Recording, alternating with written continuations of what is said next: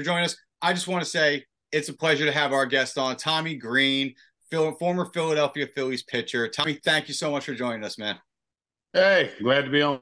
So, Tommy, we have Phillies alumni weekend coming up, and we're you know the the Authentic Expo. We're bringing in a good amount of your former teammates, a lot, a lot of players from the 1993 National League champion Philadelphia Phillies. What's it going to be like for you to kind of join all your old teammates?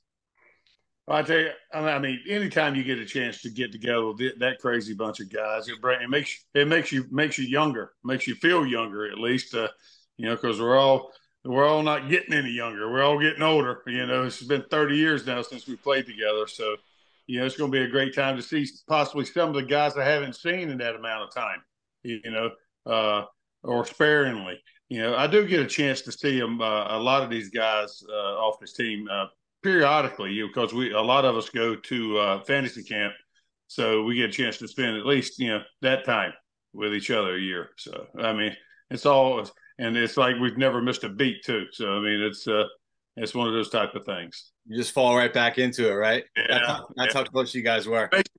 Anytime you get around a ballpark and a clubhouse and and uh, you know, like down in fantasy camp, you know, it brings back the old times, the old memories a little bit, and nobody wants to leave the clubhouse. You know, we we stay later, and you know, even though we got stuff to do in the evening in fantasy camp, you know, we all tend to to, to stay afterwards and enjoy it. Yeah. That's awesome. Speaking of old memories, I mean, what were some of your favorite memories of that 93 team playing with those guys? Is there one moment that kind of stuck out throughout the course of the season? It might not be obviously, you know, the biggest game, but was there one moment that kind of stuck out to you that you remember and you kind of cherish with some of those guys? Uh, I mean, I mean, there's so many different things uh, off that year that, uh, um, you know, from we played on the field, and then uh, you know what you really remember is off the field, in the clubhouse or in the training room at night when it was just us and nobody else was allowed. There weren't no reporters or you know or any, anybody allowed uh, allowed in there. So you know it was our time, and we got a chance to discuss you know a lot of different things. You know, uh, baseball, life, and you know. And, uh, that, I think that's where our roots are, you know, of that club that year was bonded you know, was in the training room. And it started in spring training. It was that type of thing, you know, in spring training. It started with that, you know, and then on the field, you know, one of the probably the big instances was, you know, started in spring training was, uh, you know, when we got in a, a little bit of a brouhaha with the Cardinals in spring training a little bit. And it kind of brought us together, I think, with, because we had some new guys on the squad and, you know, and, but they were guys that, that fit in like a puzzle, man. They fit right in there and joined in and, um, we had a good mix of uh, veteran and young guys, and you know, guys that knew how to play the game the right way, and that's you know that's where it started at spring training. The cohesiveness uh, come together uh, there, and uh, and and that's when we knew we had you know we had a chance uh, uh, to do something special because it started you know, with the in the clubhouse there. Yeah, I, I was going to ask you, do you think that the the bond that you guys formed in that team and how how cohesive you were do you think that is why it translates so well into why this team is one of Philadelphia's legendary sports teams and why it's so beloved by this fan base? Well, I mean, I think that's, I mean, it's sort of the roots of Philadelphia, the, uh, a little bit like that, the, the cohesiveness of the community, uh, you know, of your neighborhoods you have in, in different, you know, uh, Northeast Philly, South Philly, you know, you know, wherever. Um, you know everybody is proud and stuff of where they come from. And uh and that's sort of like us we were we were proud. We i mean were we necessarily on paper the best? No. But we had the capability to do it and we knew we did and it's all about going out there and do the job. Anybody can be de- beaten you know you know in a series. So i mean we were i mean it's people talk about it today. I'm in the media and do different things everybody wants to know they i mean they're counting the chickens before they hatch a little bit all the time. You know, well, it's on paper. It. I mean, that don't mean jack. You know, I mean, it really doesn't. You know, so, I mean, it's who gets hot at the right time. They're all big league ball players. We were big league ball players with the capability. We wouldn't have been there if we didn't have the ability. You know, it's all about the consistency, and we found that consistency uh, playing wise, and and for the most part, we we didn't have any major injuries. You know, that really cost us. You know. Um, we got lucky. I got lucky. I missed some starts with a pool growing, which you know, I mean, it cost it, it cost me a little bit, but it was just it wasn't like we had a couple or a couple of your big hitters or something like that, or or your big relievers go down or starters or anything like that that you were having to do a makeshift thing trying to find you know that consistency. But we didn't have that uh, that problem, so we had we had a pretty good run at it, you know, for health wise, and we were able to. Uh, you know, our offense showed. You know, I mean, those guys knew how to score runs. They knew how to manufacture runs, and they played the game the right way. And that's what the um, that's what the fans endeared to was the way we played the game, or you know, the way you know the everyday players they played. They were hard, hard nosed, dirty. Get you know, they weren't one of these look at me type teams. You know, where you know you, you get your uniform dirty. You know, you, you, you know they didn't want to. You know, they didn't want to do that. We we didn't do it. We were right when we come in the clubhouse. It was like if you want dirty, something was wrong. You know, I mean, you weren't working hard enough, right? Yeah, it was that type of thing, you know. And as a pitcher, it was the same way. I wanted to be dirty. You know, I wanted. I mean, back then we, we hit. I wanted to be part of it. I wanted to bunt and get guys over and, and possibly get on base. That means some things was going the right way. I was turning the lineup over and stuff like that. You know, I mean, the positive things. I mean, so it's about playing the game to baseball, uh, baseball the right way, and, and you know, we had a bunch of core leaders that did that, that then you know instilled that into the young guys too. We got we had a lot of good, a lot of good guys on that team. Honestly, I, I was just thinking this past week, and I was watching Fred McGriff get inducted to the Hall of Fame, and what the thing is, he's awesome guy. And, and yeah. did you see did you see the speech, Tommy?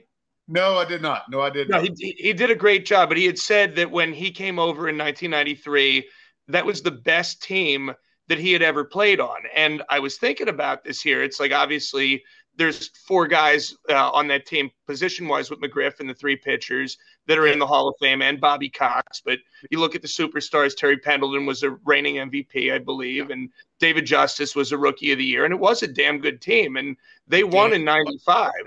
Man, I come up with all those guys. Yeah. Sure and they won in 95 but the fact that he said that the 93 team was better and i just looked at it it's like it gave me such pride as a phillies fan that it's like we beat those guys. They didn't want nothing to do with us i don't think. We matched up pretty well. We played them pretty pretty pretty good straight up you know i mean head to head and uh and that's what it comes down who's hot at the right time. They pitched well. We come in we we we manufactured runs. You know we had a couple games where we gave it up but the other time as far as the pitchers wise and they beat us you know, big big scores. But the rest of the time, we didn't really didn't give it up, and we beat them. You know, so so I mean, it was that type of thing. So we matched up pretty decent, you know, uh, uh, against them. You know, as far as you know, pitching staff and stuff like that. You know, they got Hall of Famers and stuff like that, but we were capable of doing the same thing they were. So no, and, and that's, that's one of those and that's got to be one of those things looking back that like looking at who you beat to get there and looking at how competitive you were also against the Blue Jays. I think if we go to game seven, I think you guys win, no question about it to this day, because you guys would have outworked and outhit everyone. well, I mean, uh, I think everybody sort of believed that, but I think, uh, you know, I look back at it personally and look at it, we were ahead in every ball game. We had our opportunities, you know, to win it. And uh, we just let, I mean, it just didn't happen. It wasn't in our cards to do it. It wasn't because of lack of effort you know, or anything like that. It was just just the way it was. Sometimes you have to tip your hat off to the other team, you know, because they didn't give up either. You know what I mean? And and and and they kept striving. They could have been easily to throw in the towel a little bit, uh, you know, in that high scoring game, you know, game four, you know, because we were ahead up so much, but they didn't, you know. And you got to take you give credit where credit's due. Sometimes, you know, they never gave up and and they challenged us to, to be better. And and at the end, they got the better of us. You know, but if Game Seven would have come around, it'd been that's what you live for is the opportunity to play in a Game Seven. And you know, you love to do it in four games, but you know, but seven games is good too. But uh, that's just the way it was. You know, I mean.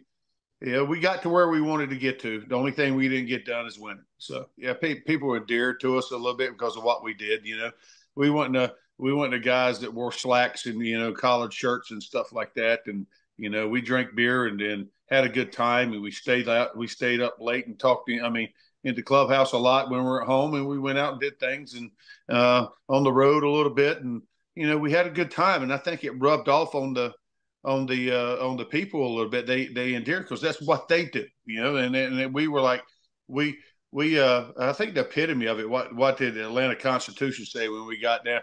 Uh, got in the NLCS is when we went to Atlanta. It says women and children off the streets, the Phillies are in town, you know, or that type of thing. It was the epitome, you know, of who we were. You know, it was a, we were a bunch of it was like we were, you know, a bunch of you know throwbacks and you know crazy guys, and you know we just had fun, you know, and and, and there was never a dull moment, you know, uh, in that clubhouse, and um, and uh, and and really the the way we play, we played fun baseball, uh, but we played hard nosed baseball, and that's the way a lot of guys on that team. I mean, all the guys on that team, but especially the veterans that endeared. I mean, for us young guys to uh, to play. And one in particular, always I'm, I'm, trying to give him more of a shout out because uh, you hear about Dutch and Crucky and you know and Dude all the time, but I tell you, he played with a passion who meant a who meant a lot and was a winner and had won before he got there was Mariano Duncan. And he played the game the right way, and he expected you to play that way too, you know, and and the emotion and the fire, you know, and he'd hold you accountable for it. And that's that's great. I mean, that was one of the great things you know, but we had, he was one of those that had a lot of fun at playing too. He had a lot, there was a lot of smiles and a lot of things, but when it come down to playing the game of baseball, he played it hard and he played it the right way. And he expected you to do the same thing. You came from down south. You were born North Carolina, right? Uh, played and drafted by, you know, the Atlanta Braves. Now, when you come to Philadelphia, what, how is that change for you coming from down south to coming to a, you know to Philadelphia? What was that like? The culture? How, did you dive right into the culture? And you know, how, how did did it take some adjustment time getting used to the way things worked in Philadelphia?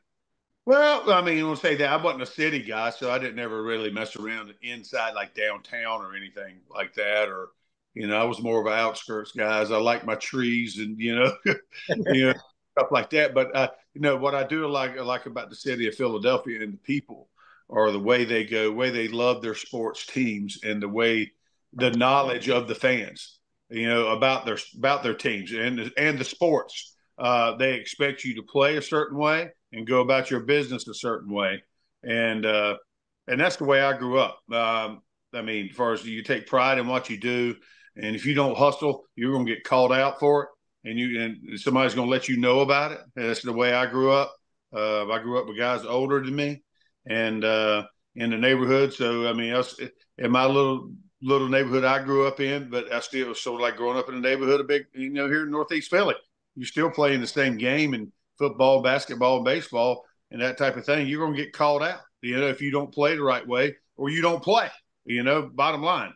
And uh, so it wasn't a hard transition as far as that's concerned to me because, you know, John Kruk uh, was one when he did his Wall of Fame speech. You know, he says a lot of guys don't want to come here because they don't like uh, the way the fans, you know, and stuff. They and the only things that fans the fans do, they hold you accountable. Some people don't like to be held accountable and being talked to or or let let know they're not doing what they're supposed to do. You know, so and, that, and to me, that's a self check. You know, I take pride in myself, and you know, and you got to be able to. I think as a human being and as an athlete, you got to be able to take constructive criticism because you are not. You know, you can always be better, and uh, and you got to be willing to be open a little bit and and can take and, and take that uh, criticism because you are human. You're not perfect, and and you got to work to to be better in every facet, mentally, physically, you know, they might be t- they might be getting on you. Might be because your physical ability. It could be because your mental side of it is not where it needs to be, and it can show up in your play. Um, you're not thinking ahead. You don't not where you're supposed to be. You're not, you know, uh, not anticipating like you're supposed to be, and you know, or you're not acting like you're supposed to be off the field. You know, it's it's all part of it. You know, so that's one of the things. Uh, you know, I really like you know about the city of Philadelphia and their fans. They they they they're into every facet of the game, and they want you to do. They want you to be their athlete and, play the game their way, and they're going to let you know. Now, Tommy, any the biggest accomplishment for any pitcher is obviously pitching a no hitter, and you were able to pitch a no hitter in the 1991 season. Tell me about that game and and kind of what sticks out to you about that game and and and how do you remember as it's going through do you think about i'm pitching a no-hitter do you try and block that out what's your mental thought process going through that game I, I mean, it's it's to me. I looked at that game. I mean, the way it happened at the end, it was a no hitter, but it was also a one nothing game to the ninth, and I was pitching a getaway day in Montreal. So the way I looked at it, I was trying to get them before they woke up good, you know, because it was like a twelve oh five game or something like that in Montreal. Um, but uh, you know, it was about winning the ball game. You know, and you know, it uh, it was a special day. Um, it didn't seem like there was really any tough plays made. You know, it was a couple. They tried to bunt a couple times, but it wasn't one of those coming in and like busting your tail. It was just a routine, you know, bunt play. The guy had time to set his feet and throw him out at first because we're playing on turf. You had to be a pretty good bunt. You know, uh, DeShields tried to bunt once. I, I can't. I think somebody else tried to, but uh, there really wasn't that many. Uh, uh, I mean, for there wasn't no diving plays. There weren't no, uh, you know, like line drives in the gap where anybody had a layout. I mean, far as layout for one or running. I mean, get that far. It's more routine fly balls and and ground balls at people. And I, and I struck out uh, quite a few guys. And and uh, but it come down that day was you know I thought about you know was uh, you know with the two outs in the ninth was Leo Mazzone before I walked up the back of the mound. And the backstory of that a little bit because because I come up through the Braves organization he was my pitching coach through the minor leagues. And um, I had three no hitters throughout the minor leagues uh, A ball, double A, triple A, where I had two outs, two strikes on the last batter and lost all three of them, gave up the hit.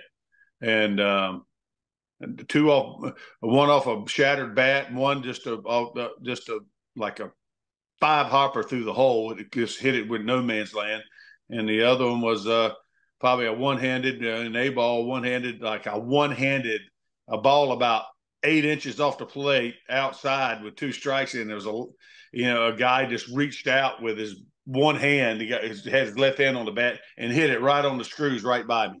Yes, and what I can do, you know, it was one of those type things. So, but uh, and uh, and I and I thought about Leo because my last one I threw in AAA he, I got on the, you know, bus, and, you know, I mean, or whenever he talked to me, he says, when you to finish one of these bleeping things off? You know, you can hear Leo talking like that too. He looked like the Yosemite Sam. I called him the Tasmanian devil, you know, because he, had, he, he had to, you know, he had that attitude a little bit, you know, he challenged me. He would challenge me all the time, which was great. It's what I needed.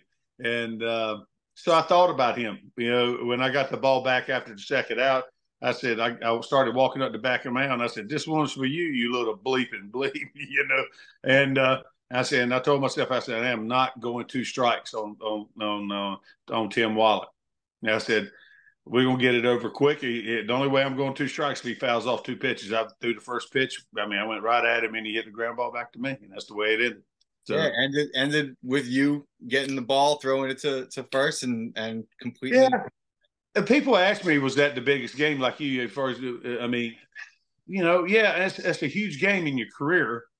Um, I mean, but, but, you know, but making it to the playoffs back then, we were the last team to, before the wild card, you had to, you had to win to get in, you know, you had to have a full season worth of success to get in, you know, and to be a part of that. That's a huge, huge thing. Um, you know, but and the other thing that meant to me is, uh, uh, important game uh, is you know five days later uh, was uh, after the no hitter was I pitched against Montreal again at home five days later and faced them again and threw a three hit shutout against them and didn't walk anybody. So that same lineup got another four looks four looks at me. Didn't really do nothing. Nothing do nothing, right? yeah. Well, look at that, you know. And they were chirping a little bit, a couple guys, and you know, and be careful what you you know wish for, you know, a little bit. You know, I mean that to me that that was a real. I mean that was a, like a real you know important game. A val it's call it a sort of a validation game. You know, stamp stamp of approval. You there know? you go. Yeah. You know, coming up in that big fish, small pond. You uh, know, you know, I I wish I had that that guy that kind of helped me with the off speed stuff. I, I kind of come in a little more polished out of high school because I had power you know, and I had pretty decent command of the fastball, you know, right off the bat, you know. But you know, I've seen guys come in, you know, like your Steve Averys and stuff come in and you know, I mean, those guys you know, got with him. It's like he told me, see, I had, had some people that were real influential with me. I never had that pitcher type help, you know, with me. I played the game of baseball. You know, I had a good coach, but he wasn't a pitcher. You know, he was a, a player that understood how to play game, and he gave me good advice as far as pitching wise. You know, you know how to how to treat. You know, we talked about pitching and stuff like that. You know, changing locations and stuff, and you know, but us teaching me a breaking ball or a type of shorter breaking ball or a change up or anything like that, we didn't you know, he says until until they show you they can handle what you're doing with your fastball, why deviate? Just change location, you know. And that's the way I did a lot of things, you know. Uh, in high school, I changed location, and you know, if a guy was starting to time me a little bit, I'd come up and in more, you know, make him think about it and make him say, "Hey, let him see it a little better." And the only way he's going to hurt me is if he gets the head out and he cheats that much, you know. And I wasn't trying to mess. I mean, I wanted him to see it inside, and then and then I could locate it down and away. You know, I mean, he'd start bailing to try to get to me. I could hit, I'd go down away, and he couldn't do nothing with it. He was he'd miss it. You know, or yeah. you know, it's hard to handle that when you're having to cheat. You know, especially with guys. You know, when you're throwing mid upper nineties in high school. So. Yeah. Now MLB has implemented some changes this year with obviously the pitch clock. Um, do you hate you hate it? Yeah. I was going to say, do you think that that would have, uh, you know, flow? Would that fly back in the day, or how would you guys have handled that? Well, I say, I mean, I hate it for some of the guys, um, the pitch clock, because people people are human beings and, and they work a little different. You know, uh, some guys are, are, more methodical in what they go about their business. That's the way they operate, and that's what makes them good at what they do. Um, um, I know as a pitcher, not that I tried to rush things, but you know, when things got out of control or was going bad, people started running. I tended to get a little bit slower, mm-hmm. but that's what we worked on in the minor leagues a little bit. Hey, get back up on the mound and reinforce the positives. Get in, you know. So I tended to try to work quicker anyway, um, because when I did, when when when everything was going hunky dory, it wasn't. They weren't waiting on me out there. You know, I was a I was doing. I was back up on the mound getting ready to do it. It was hitters stepping out of the box. You know, that's what the implemented, you know, it's changed a little bit, which is, I mean, to me, it's part of baseball. It's the cat and mouse game, you know, a little bit. You're trying to get in each other's head a little bit. It's the mental side of it, you know, the, and the, the what I and the one I really hate don't, don't, uh, or really dislike is the pickoffs to first base. You know, you're not allowed but two things. See, it's another cat and mouse game a little bit because speed kills you know, and you got yeah. and they're trying to make guys run more, you know, with the with the bases and stuff like that. And I think it's happening, you know. So you got to be able to keep them fair, you know, or I mean, or you're you know you're making an advantage so much for the offensive side of things, you know. Um, I mean, that's just I, I don't get a lot of things, you know. So I mean, and a lot of people like the uh, ghost man or whatever you call it on second and during the extra innings, and I really hate that because that to me you got to start to me, you got you're, you're doing stuff now with the game. You just yeah. got to have another set. It's just like they talked about the steroid issue, putting asterisks behind beside. You know, you got to start put make another set, another book. You know, with an you know, because you changed the game. Yeah, it's changing the fundamentals of the game. I feel like you know. Yeah. So I, I mean, changing the game, doing that, and, and I mean, it's going to change the numbers. It's going to skew stuff. Uh, you know, and they always talk about the numbers. You know, I'm like, bottom line to me, when I pitched and stuff like that, you know, did I get the win? That didn't bother me or not. Did my team win the day I pitched? That's what I wanted. That's what I wanted. We we won the day I pitched. You know, and we you know, and that was one of the best compliments I ever got. It, you know, it was like so some guys come up and they said, "We want you on the mound, no matter if you're because I fought injury a lot." And he says, "Whenever you throw your glove on the mound, we tend to win." You know, and I mean, whether it's a good luck charm or I had something to do with it too, you know, not just pitching, but you know, I played the game of baseball. That's why I love National League basket uh, baseball. You know, the pitcher's involved, and it makes the manager be involved. I mean, not that he's not already, but uh, more involved than making a decision when to get. You know, he has to change that pitcher out, or does he let his pitcher hit, or can he bunt? You know, can he move runners over? Because can't nobody bunt no more. You know, it's unbelievable. You know, I can't. I don't fathom that. You know, I watched a game last night, and I was. I don't cuss at the TV a lot, but I was cussing then. You know, when you see somebody can't get a big league player, can't even get the bunt down, still jabbing at the ball. You know, and, and I mean, it's it's unbelievable. You know, that was our job to bunt. You know, I mean, and it's pitchers, and they get on us uh, saying we're non-athletes, and I, that's a load of crap. You know, that's the way I look at it. I took pride in mine. I wanted them to think I was just a pitcher. You'd yeah, be back yeah. third. Yeah. You'd be backing up third. That's the way I looked at it. We're too big to be just a pitcher, man. I've stood next to you before, you know. I felt like I could handle the bag. I could hurt you. I won some games for my, you know, help win some games for myself a little bit, you know.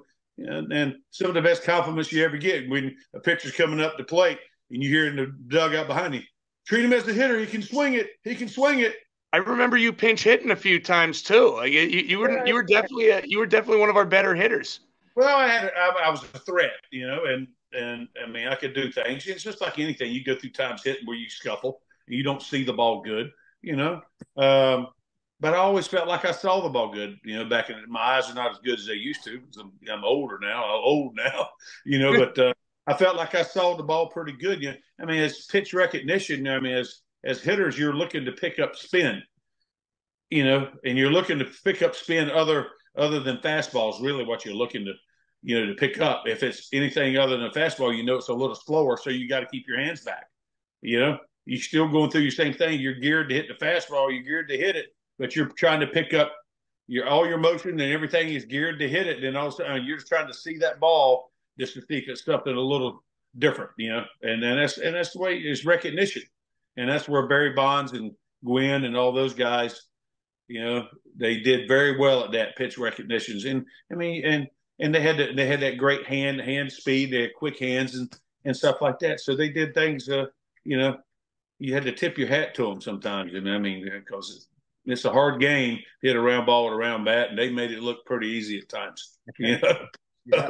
Is there uh, one last thing? What What do you want to say to the people of Philadelphia? Well, it's like I always do when I get a chance to be out in, in public and do things. Is like say, I'm it's so proud to be a part of the community up here now and to be a part of the Philadelphia Philadelphia fan base because I pull for the fans too. I just got I got lucky to play, and it's good to meet good people who care about the sport, and that's what I care about. Is you know the fans like that they come out and want to meet us and you know who used to play and and and and at least we can do is be is be cordial and and uh, and I look forward to it because you meet new people and new friends that way.